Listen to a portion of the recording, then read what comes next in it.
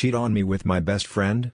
I'll wreck your career and publicly humiliate both of you. Update May 2023 I can't believe how many requests I keep getting for updates on this story.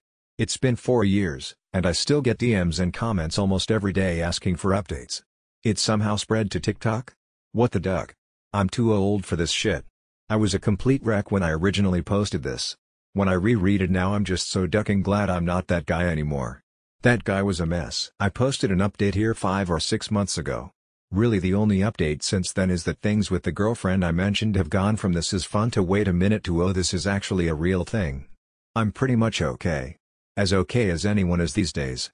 So, this post apparently is what triggered the R-Pro revenge riots of 2019 over the excessive use of acronyms to represent people MW, FBF, FBFW in the story.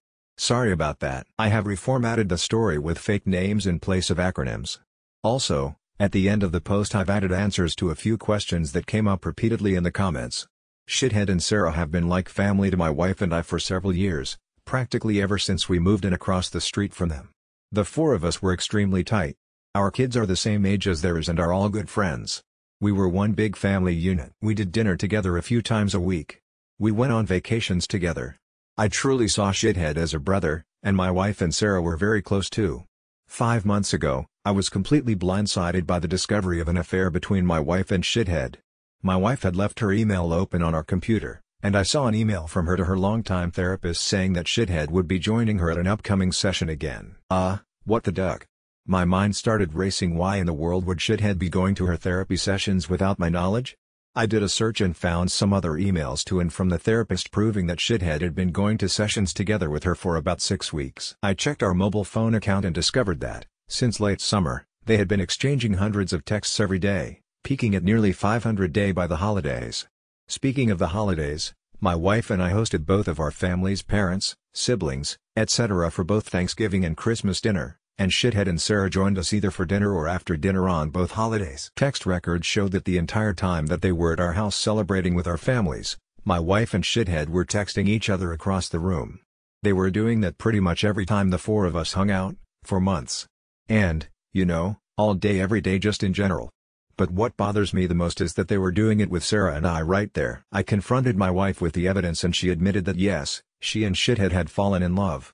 It just happened I don't know how but I love him and I just don't feel anything for you anymore. I'm sorry they had gone on a school district trip together, something had happened in her hotel room, and things had moved quickly from there. She explained, as I lay face down on the couch, unable to look at her, that they had already made plans to move out and divorce me and Sarah, and while they didn't plan to move in together immediately because of the kids, they'd probably do so eventually. The meetings with the therapist were supposedly mostly for the purpose of finding a way to break this to me and Sarah as gently as possible, because they were so very concerned for our well-being. Sarah and I are fairly certain that they weren't planning on telling us about the affair at all, and were simply going to discover their feelings for one another several months down the line, after they'd come up with some other reason to divorce the two of us.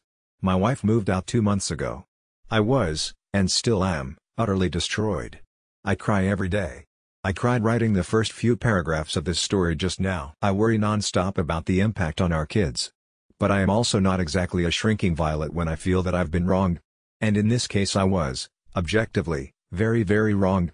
So, a couple of years ago, Shithead ran for a Board of Education seat as a pretty extreme underdog. I helped him with his campaign materials and debate prep, and my wife, a well-known school district employee this becomes important later, got the word out as best she could.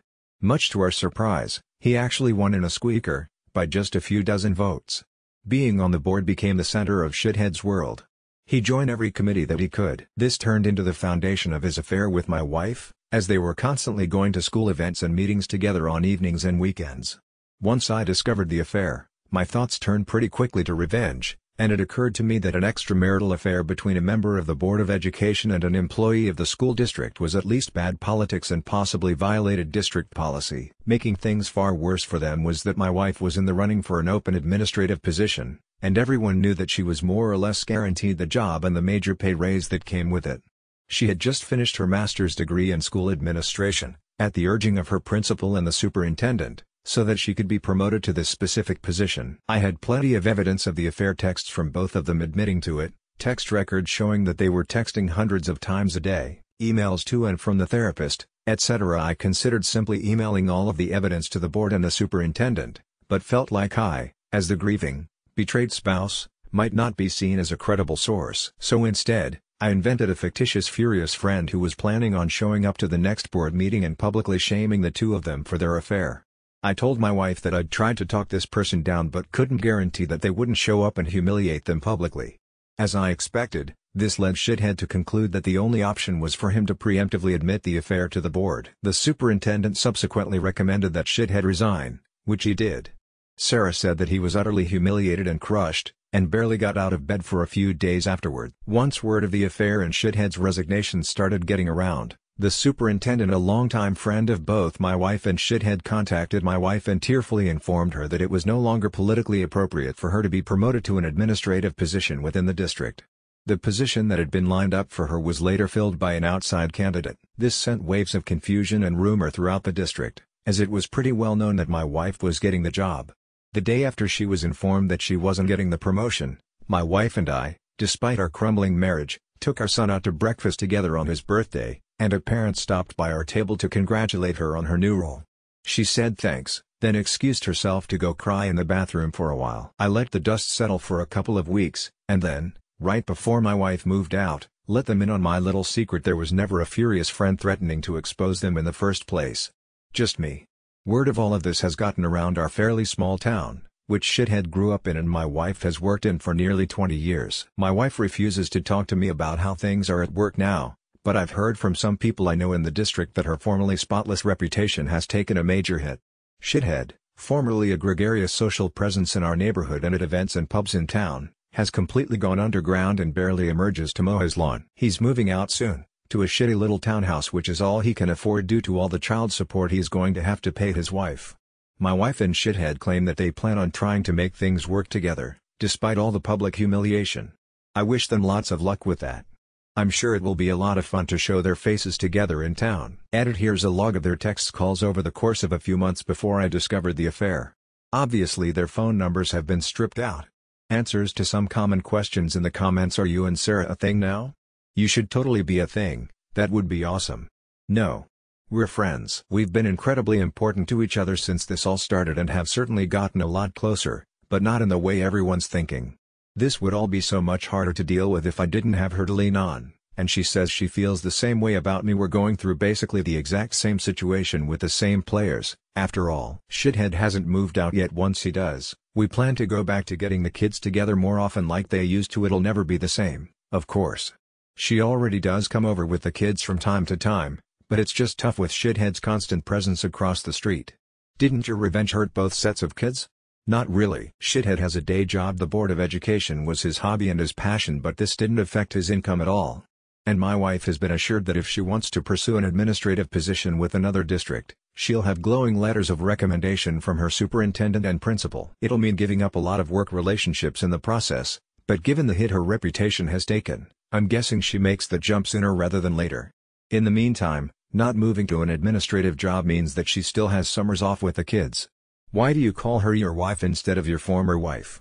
We're working out way through divorce mediation, but it isn't final yet. Will be soon. Why didn't you notice all of the texting your wife was doing? Well, I did. It was really starting to piss me off. It was excessive. She has a big social circle and does tend to text a lot anyway, but it was really getting over the top, to the point where she was completely ignoring me and the kids. At one point in November I asked her to agree to a no phones at the dinner table rule, which she agreed to reluctantly but then would pout through dinner, and eventually she just started using her phone during dinner again. All that said I was blind.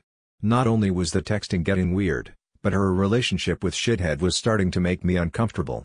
Sarah noticed it too and agreed. We confronted them a couple of times about it directly and they both swore up and down that it was just school stuff that they were talking about. There was nothing else going on.